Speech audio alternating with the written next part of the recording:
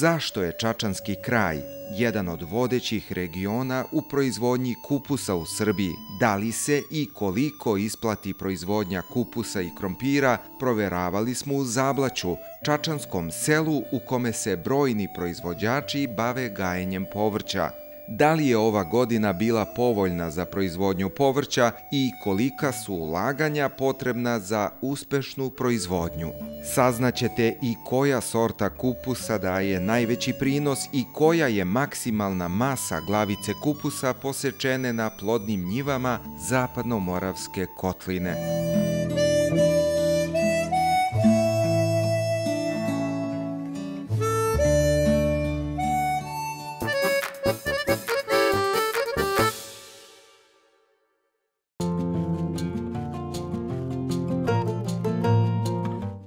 Čačanski kraj jedan je od vodećih regiona u proizvodnji kupusa u Srbiji. Simbol stabilne proizvodnje ovog povrća je tradicionalna kupusijada koja se u jesen održava u Mrčevcima. Osim na poljima ove najčuvenije varošice u Srbiji, kupus gaje povrtari i u drugim selima u okolini Čačka. Posjetili smo porodicu Raković u Zablaću koji uzgajaju povrće odličnog kvaliteta – Bave se i proizvodnjom krompira i to na 10 hektara, a gaje i kupus i drugo povrće. To je složna, vredna i radna domaćinska kuća, a kako su i kada započeli obimniju poljoprivrednu proizvodnju, priča nam Milomir Raković, povrtar iz Zablaća, sela uz desnu obalu Zapadne Morave. Cela priča je počela oko 92. treće godine. Ja sam radio nekad u firmi, sam radio u preduzeću. 92. treće godine je propalo to sve i ja drugog izbora nisam imao nego da se vratim kući na poljoprivredu. Imao sam veliko imanje, otac mi je bio još živ, bio je u snazi, mogli smo da radimo i od tada je to počelo. I od tada je to počelo. Bavili smo se svaštarstvom, znači od početka. Znači i stoke smo imali, i stoku smo držali, kao i danas dan što držim stoku. Svega, paprike, paradajsa, svega je to počelo. Deca su mi bila mala, onda nisu mogli ni da stignu i sve, ali na veliko smo počeli da se bavimo poljoprivredom oko 2004. 5.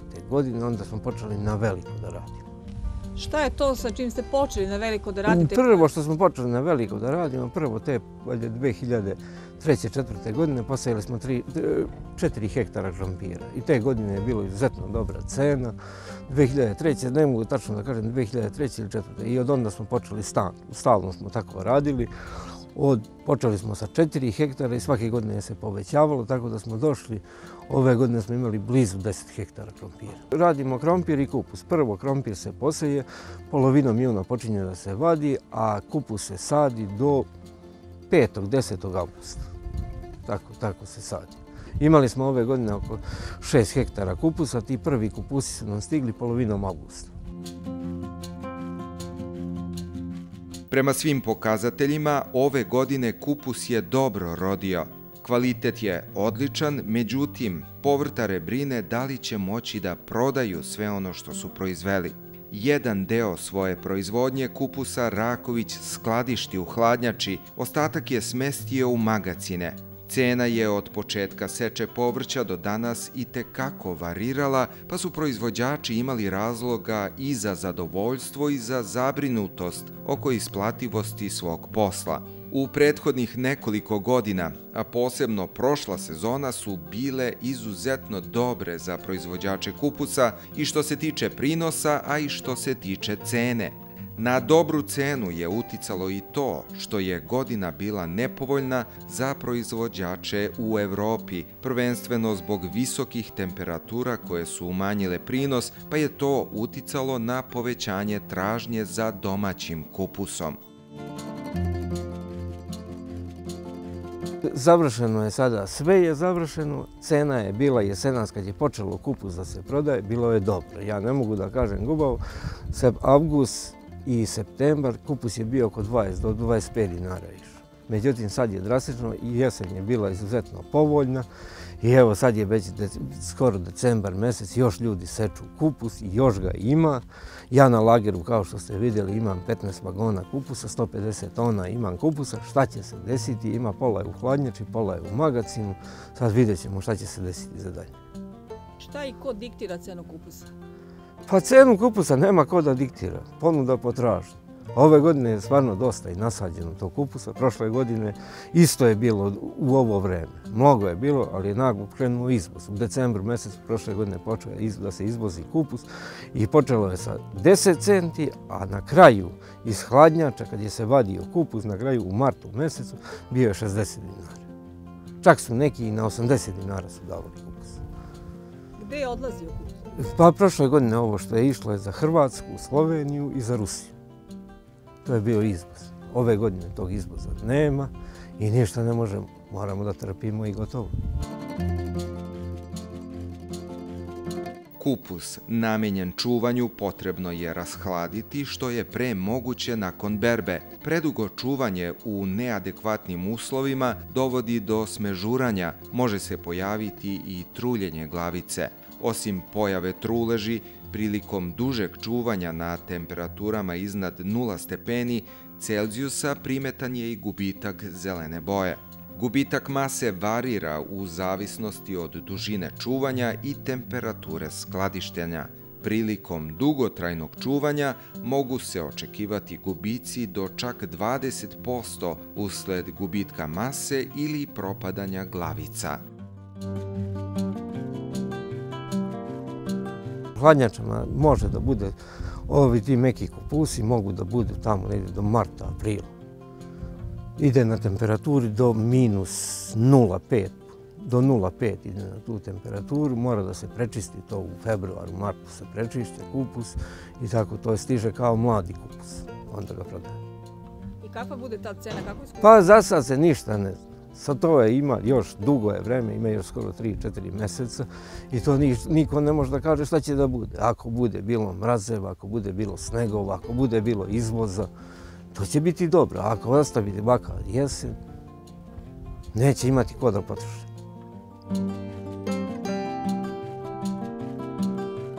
Da li se i koliko isplati proizvodnja kupusa, proveravali smo u Zablaću, Čačanskom selu u kome se brojni proizvođači bave gajenjem ovog povrća.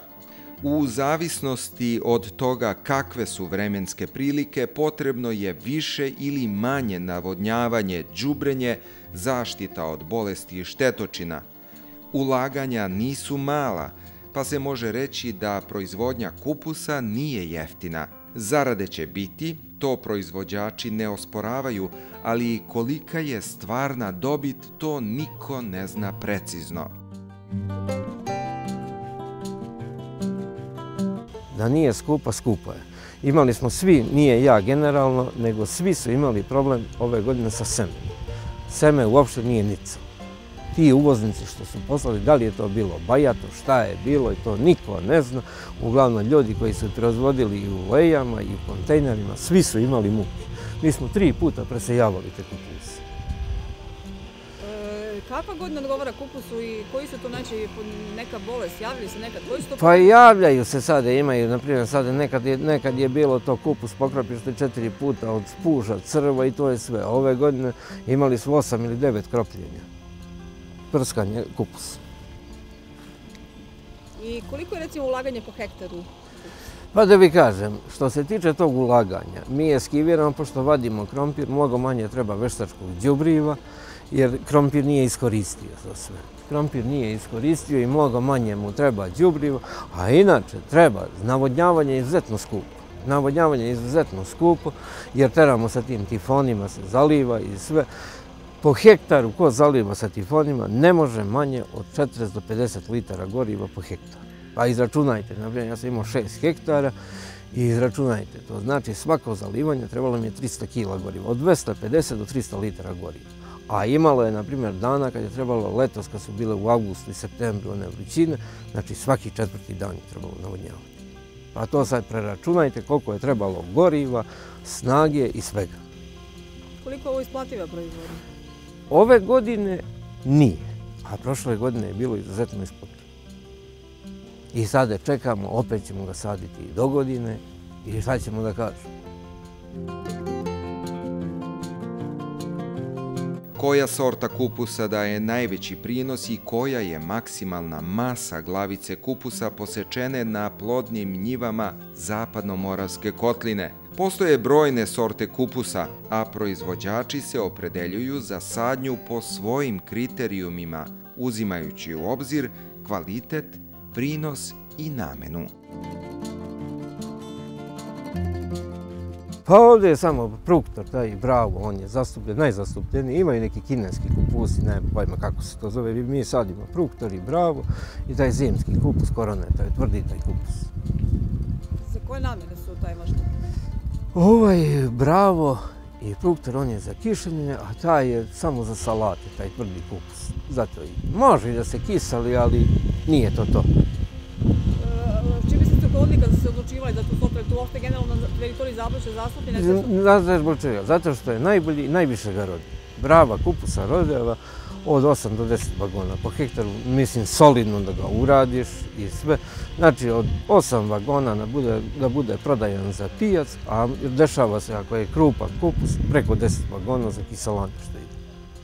Koliko prosjekom bude glavice, koja je najveća glavica? Ste imali neku rekordu? E, ja sam imao najveću glavicu tog brava, 7,5 kg a kažu da može i 10 kg. Ja je nisam imao, ja sam najveću glavicu što sam osekao, 7,5 kg je bio.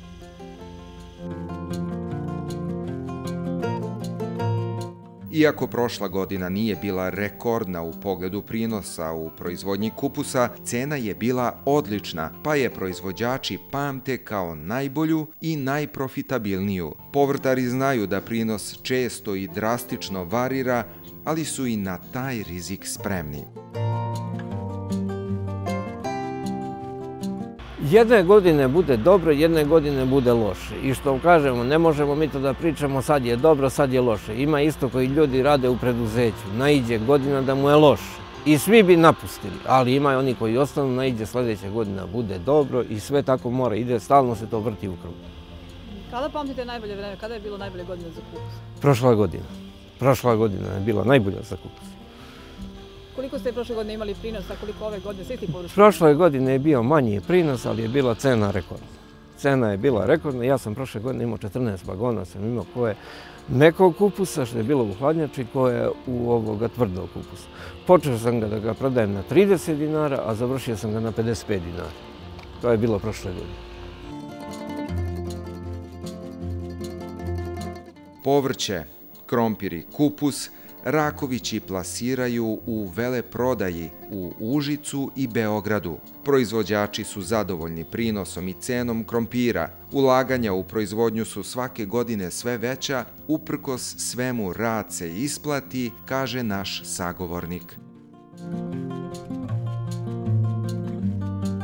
Imamo jednu veleprodaju koju vučemo u Užice i imamo jednu veleprodaju u Beogradu to završavamo sve, na pijac više nija, ni sinovi ne idemo, znači to ima, tu se sve završava, i kupus, i krompir, sve se to završava tu. Znači plasman ipak obezbeđeno tamo? Pa evo, obezbeđeno je tu i tamo, što ono kažu, to su te vele prodaje, sinovi idu sa kamionima, vuču i za Beograd, i za Užice i tako.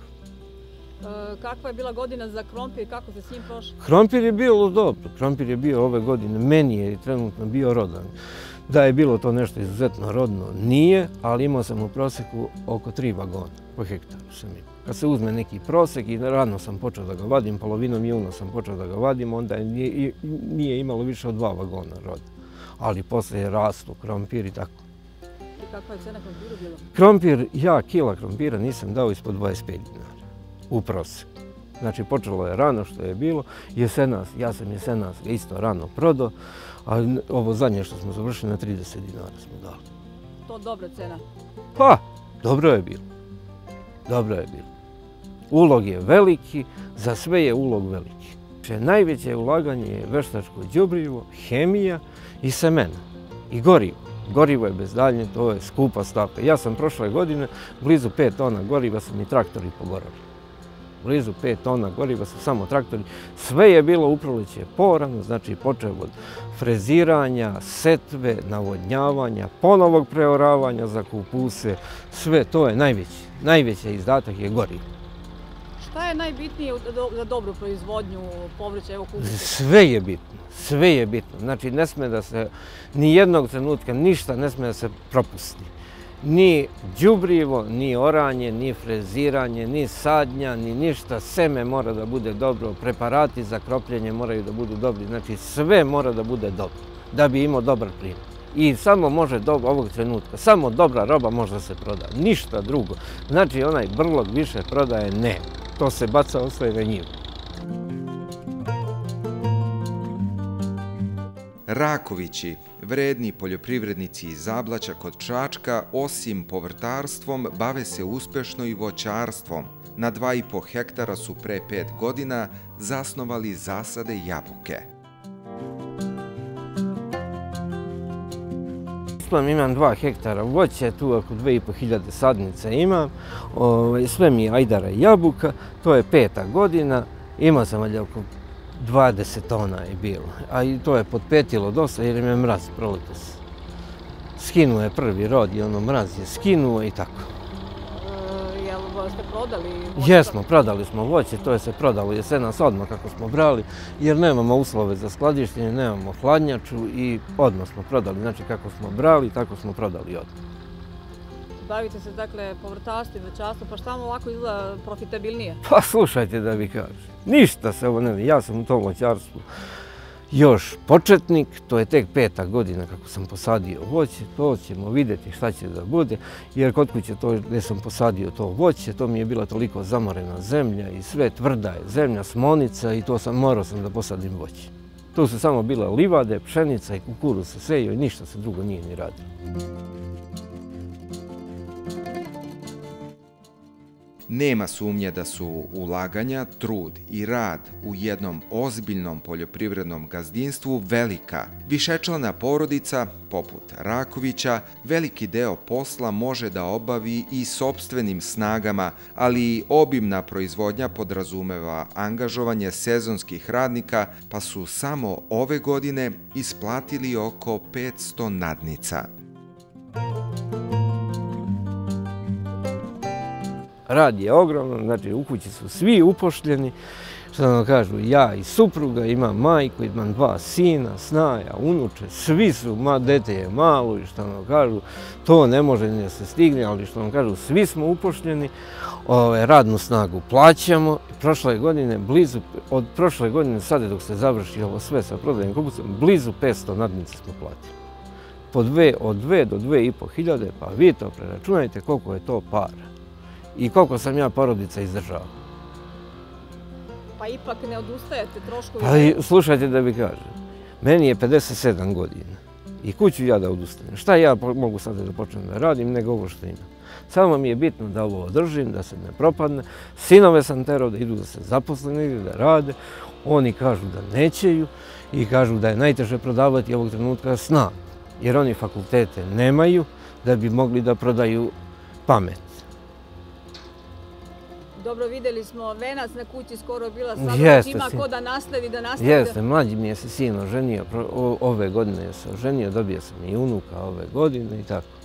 On je ostao na poljoprivredi, stariji je isto, on, on više se bavi tom trgovinom i mogu da vi kažem, sad je seosko domaćinstvo. Ko se god bavi ozbiljnom poljoprivredom, u kući moraju da budu dva sposobna čoveka da bi vodila kuću. Znači, jedan čovjek sam ne može uopšte kuću da vodi jer je jedan mora da bude oko mehanizacije, jedan mora da bude oko proizvodnje i uvek da jedan drugoga svakog momenta zamene. I tu je sad isto i bitna i trgovina. Moraš da budeš svakog momenta prisutan i na telefonu, da sve znaš gde se šta kupuje, gde se šta prodaje, da bi to propratio. Milomir, kao iskusan poljoprivredni proizvođač u šestoj deceniji svoga života i na posao i generalno na život gleda širom otvorenih očiju i poručuje da se samo vrednim radom, upornošću i voljom mogu stvoriti dobri uslovi za život porodice, svejedno da li ona živi i radi na selu ili u gradu. To što se tiče te perspektive, to niko ne zna. To niko ne zna. Imaju ljudi koji su celog života radili poljoprivredu i kukali, a imaju ljudi koji su tek počeli pre deset godina i oni su napredovali mlad. Imaš mladih ljudi sada ovdje što se bave tom poljoprivredom, da li su potrebili, šta su uradili, ne znam. Ali, na primjer, pogledaš dobre kola, dobre traktore, sve brzo voze i što su se obogatili za deseta godina. I ne možda kaži da su krali. Nisu krali ništa, da su krali i odgovarali za to. Uglavnom, da se radi samo mora. Da li si u preduzeću, da li si na poljoprivredi, dan mora da bude izuzetno dugačak.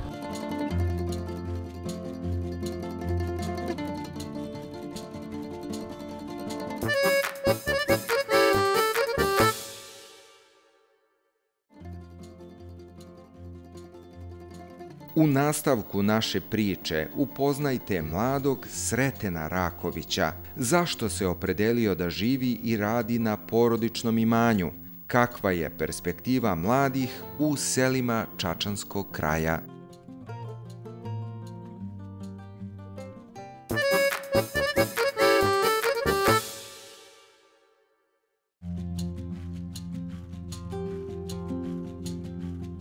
Sreten Raković sa suprugom i sinom, roditeljima, bratom i babom živi i radi na svom porodičnom imanju u Zablaću. Čuli smo kako razmišlja njegov otac Milomir, a pogledajte kakva očekivanja i ambicije ima jedan mlad čovek. 22 godine ima, završio sam mašinsko saobraćajnu školu, poljoprivredu radim od malih nogu, ali kad sam završio školu pre četiri godine, od tada radimo na velikoj.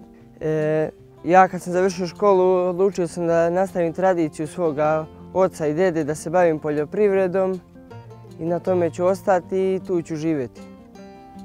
Šta je konkretno tvoje zaduženje, Sretine? Šta ti radiš u porodici? Ima li podele na neke poslove? Kako to te...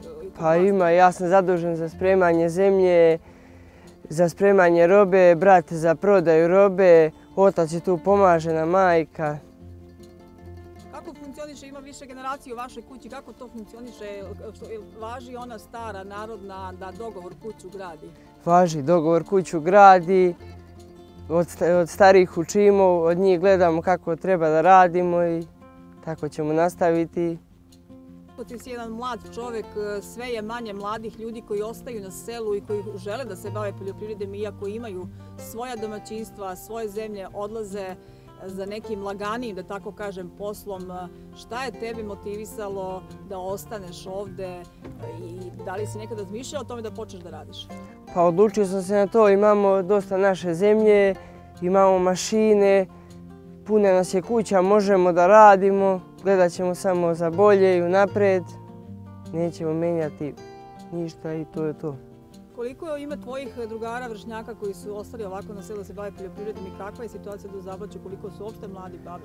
Pa dosta mladih odlazi u grad, sve je manje i manje ljudi, a pogotovo mladih da ostaju na selu da žive i da rade. Baš je malo i sve će manje i manje biti. Kako ti gledaš na to sa, sa svog aspekta? Pa ja gledam ipak da to selo zaživi. Ti si zasnovao i porodicu i yes. imaš e, dečaka. Jeste. Koliko ti je to neki motiv što kaže i tebi celoj porodici? Pa veliki je motiv. Ipak kad imamo da vidimo nekog iza sebe i mladog i sve. U grupi od 50-ak poljoprivrednih proizvođača iz Čačka koji su nedavno boravili u Italiji sa ciljem da se upoznaju sa radom tamošnjih poljoprivrednika bio je i Sreten Raković. Odlazak u Italiju finansirao je grad Čačak, a poljoprivrednici su dobili priliku da se upoznaju sa drugačijim načinima rada i da neka iskustva prenesu u svoja domaćinstva. Pa daleko smo mi od njih, ali kod nas već počinju ljudi da gledaju kako se radi tamo i bili smo, gledali smo e, velike farme, voćarstvo, povrtarstvo i ovde narod već polako bori se za bolje i gleda da bude i nama bolje i svima. Oni su u svakom slučaju iznad? Iznad, iznad nas oni, u svakom slučaju, iznad i ispred nas Šta je ostalo poseban utisak na tebe kad si boravio u Italiji? Pa ja sam gledao najviše povrtarstvo tu oko krompira i kupusa i... I na kom principu je kod njih to funkcioniše? Kako se to gaji tamo? Kolika je površina parcela? Kako su opremljene sistem za odnjava? Kako izgledaju? Su savremene to? Pa savremene su veće, su, veće su površine nego kod nas. E, isto za navodnjavanje mnogo je lakše, za obradu zemljišta sve je mnogo lakše nego kod nas. Kod nas su male površine i odmah su veći problemi i sve. Da li si neka iskustva primenio ovde kada si došao u svoje rodno zablaće, nešto, da li si uspeo nešto da preneseš, što kaže, da primeniš već praktično? Pa pokušavam nešto isto u voćarcu, smo gledali tamo koji jabuka za neki kap po kap, tako smo nešto primenili. Za bacanje džubriva isto. Ima dosta mašina što može da se vidi i da se proba kod nas. Sreten veruje da svaki mlad čovek koji se opredeli da živi na selu, na svom imanju, ukoliko je spreman da radi vredno i strpljivo, da uči i usavršava proizvodnju, može da stvori dobre uslove za život sebi i svojoj porodici. On je u svojoj nameri odlučan, nastavlja porodičan posao i dok hoda utabanim stazama već pravi iskorake ka novim izazovima. Radi naporno, ali živi sa osmehom i srećno. Kako tebi generalno izgleda sretan život na selu je li teška poljoprivreda? Pa nije, ko voli nešto da radi, nije mu ništa teško. Ko ne voli, njemu je sve teško da radi. Ko voli, njemu nije ništa. Imaš li ti vremena za odmor, za što kaže druženje, za svoju porodicu? Kako to izgleda u, u, u sezoni? Da li negde u zimskim mesecima se na, načelu u selu malo odmara, pravi pauza? Kada ti praviš pauzu i tvojoj porodici? Kada je neki slobodan luft? Pa sve je manje i manje pauza jer se više i više radi. Manje ima radne snage. Ne može baš ni da se mnogo odmara ako nešto mislimo da napravimo i da uradimo da napredujemo, da kuća napreduje, ne može da se mnogo odmara. Kakva je tvoja poruka mladima generalno? Savjetuješ da se bave poljoprivredom i kažem opet ko ima i svoja imanja, napušta, odlazi nekim laganijim poslom i ipak radi za neku, da li je bolje biti gazda svoj na svome ili, što kaže, raditi na... Pa najbolje biti gazda svoj na svom. Kad imaš nešto, mislim da ne treba to da se upropasti, da se ode odatle, nego ja mislim da tu treba da se nastave koreni i sve, jer je to neko radio i gradio da to sad ne bi propalo. A ipak kad odete kod drugog da radite, nije to ništa vaše da bi mogo da se obhodite prema tome. Dakle, poručuješ mladima da ostane sve njih? Ja poručujem da ostane. Ja mislim da ima u tome perspektive i da može da se nešto napravi, da se uradi ko hoće da radi ko neće, on ne može ništa ni da napravi ni da uradi.